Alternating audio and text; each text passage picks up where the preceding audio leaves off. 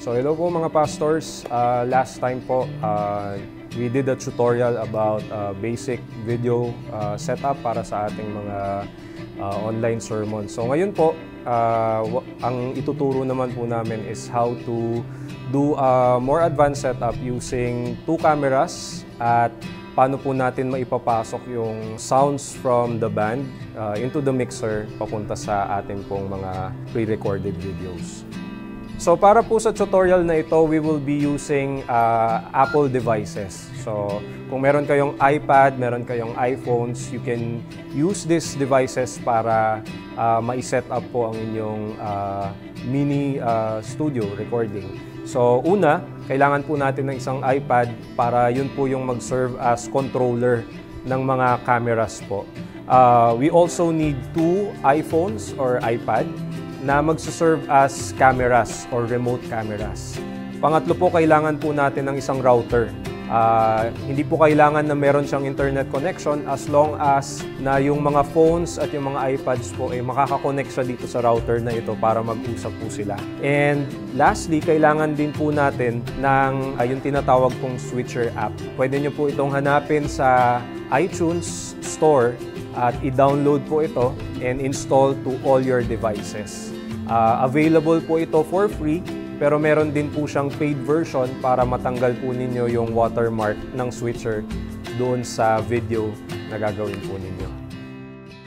Para naman sa audio setup ninyo, kailangan ninyo ng band setup katulad nito and make sure na lahat po ng sounds ay papasok sa isang mixer. And from there, kailangan po natin ng isang tinatawag na iRig adapter.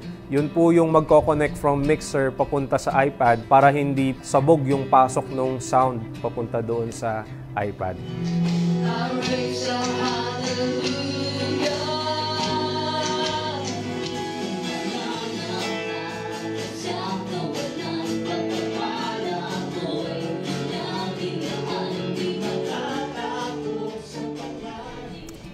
Alright, so ang unang step na kailangan natin gawin is install yung switcher app sa lahat ng mga devices po ninyo. So yun yung iPad, yung iPhone.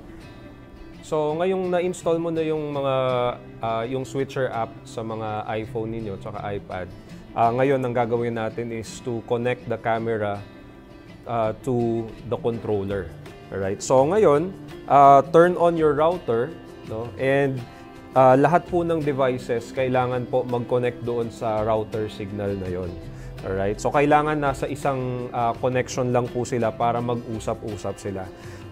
Alright, so ngayon gagawin natin is to turn on the switcher app.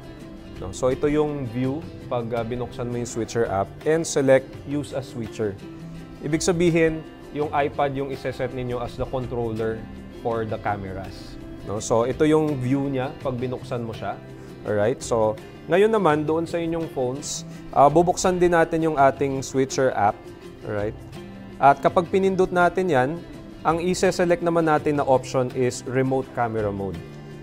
Alright, so kapag kinlik natin yan, uh, sasagap na po siya ng signal mula doon sa ating uh, controller.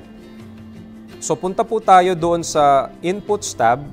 Dito po sa baba, merong mga selections po dito. Inputs, at makikita nyo po dito sa sources on your Wi-Fi network, eh mag appear na po yung pangalan ng phone na kung saan uh, nagwo-wait po ng signal uh, yung phone camera. So, i-click nyo lang po itong pangalan ng phone ninyo at ang mangyayari po eh yung view po dito sa camera mula sa phone eh makikita na po natin dito sa uh, controller.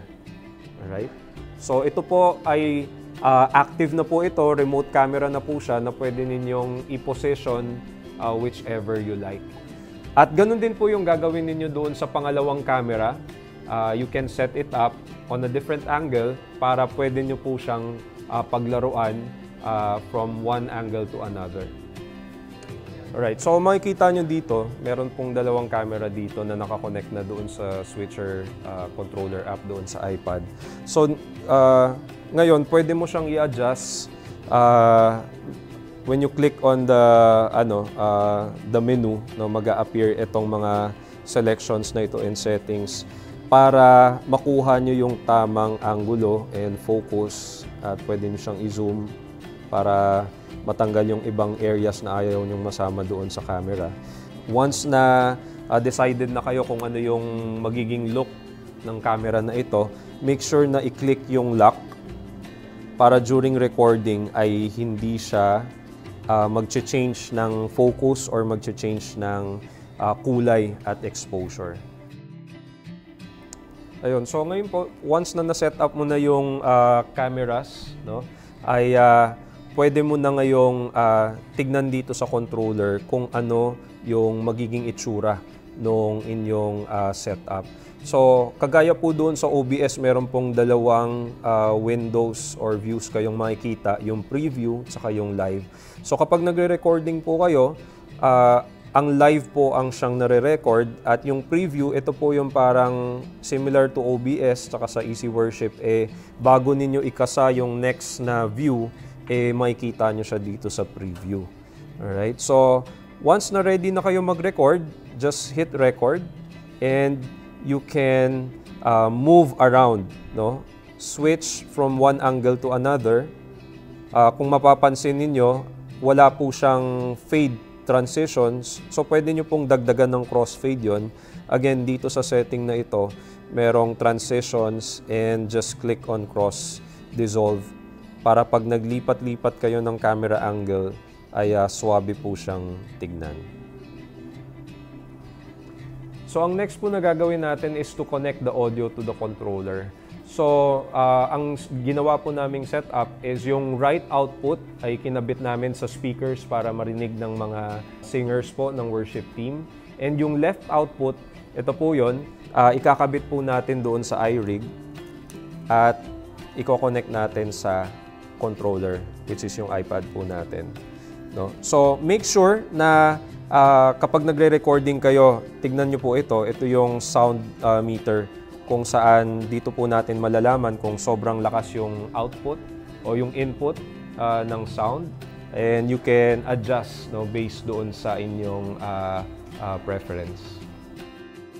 So doon po sa output setting natin, we can set uh, yung quality po ng ating video. So go to advanced setting, live output format, and make sure na selected po natin yung highest quality which is uh, 12080 to 720.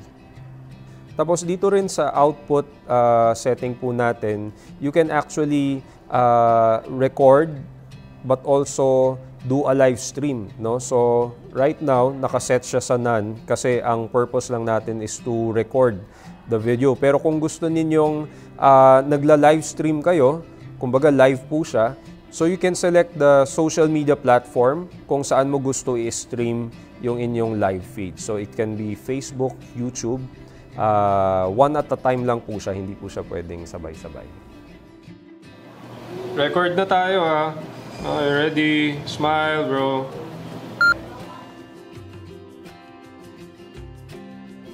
Alright, so pag natapos na yung recording, just hit the red button again.